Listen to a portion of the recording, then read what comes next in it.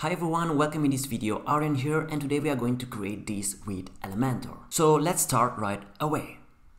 So let's create a section like this one. Click on the section, go on height, min height, VH and make it 100, so it's 100%. Um, inner section here, duplicate, you have three columns, right? Great. Now we are going to search for a widget called icon. Drag and drop it here in the first column. Left, click here on the icon. Heading, just put it below the star and then add some text. Okay, so we have the structure. Click on this column here. Go on advanced, percentage, and let's play with the percentage of the padding. Looks nice. Let me go on my XD file and check a little bit. Copy also the text so we have the same design with the same text. Paste it. Going to copy also the description.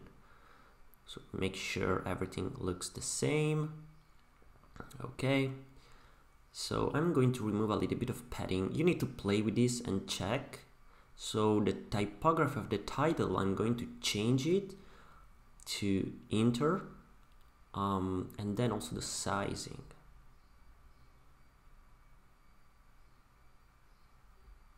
Make it a little bit bolder uh, maybe too much 700 for me it's okay. And then the text go and remove the space text and cans here delete uh, so that you remove the space the extra space click on the column and then here on style uh, check the border and make it solid.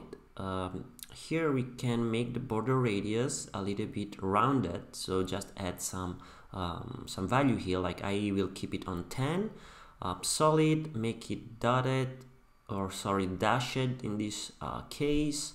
Uh, and this is the initial look. So let me go on my XD as you can see it's not the same but we are going to fix this in a moment first of all I will select the colors um, like this one and then I will add a color here.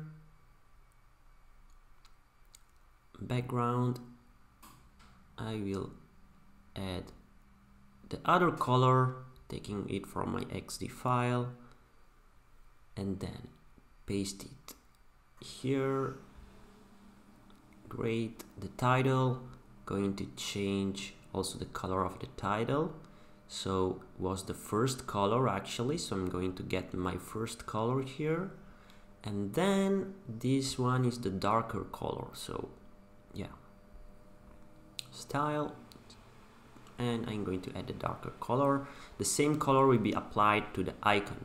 So you can enable this if it asks. Um, and then select the icon you want. And of course import the media. Great so now I'm going to change the color of the icon, right? Uh, I'm giving the same color of the, of the darker one. So I'm just paste it here.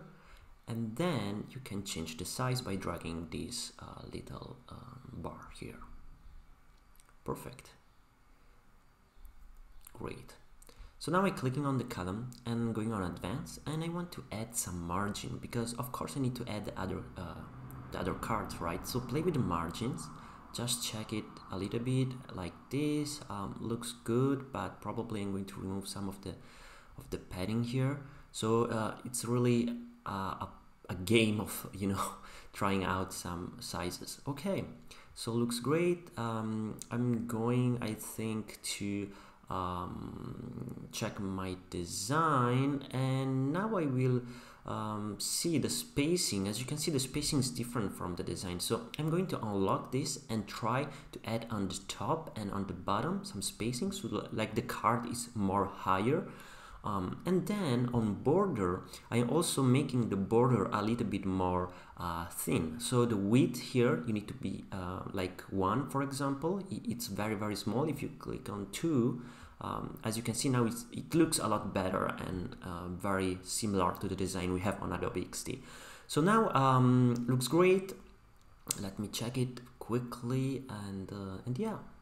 I think that looks very similar to it. Of course you should take time and and work better. But yeah for this tutorial I think this is, looks great. So I'm going to the mobile version and tablet version.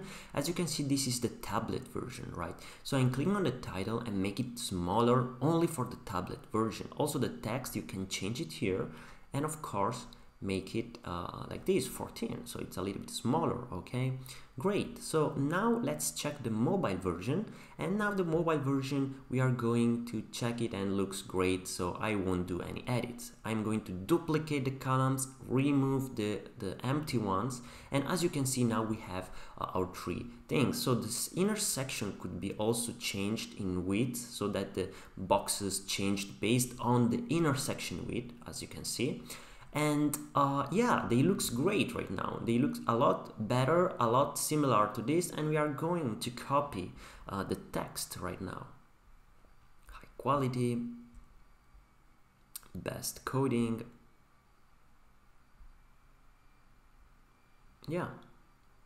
Simple right? So anyway we are just going to switch the colors and I will make this video a little bit faster because we did already see how to do that uh, previously right Great, so um, that was very quick. so now we are going to actually add some animation. So select the first element like the icon and go on advanced tab and fade up like this. So advance, uh, fade up and advance, fade up. Do the same thing for all of the three cards. So again, um, fade up, fade up, the other one advance and fade up. I'm going very quickly right now because it's quite simple. Fade up. Perfect. Great.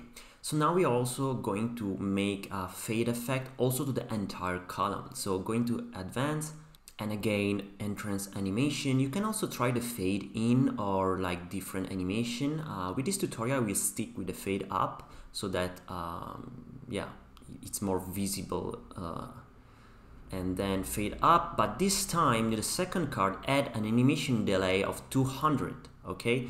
Same thing third card advance entrance animation fade up and make it 400 so it's the last card to appear okay? So now if I update this uh, clicking on publish and have a look of this and as you can see it works very well. So thanks a lot and see you in the next tutorial. Of course subscribe to the channel. Bye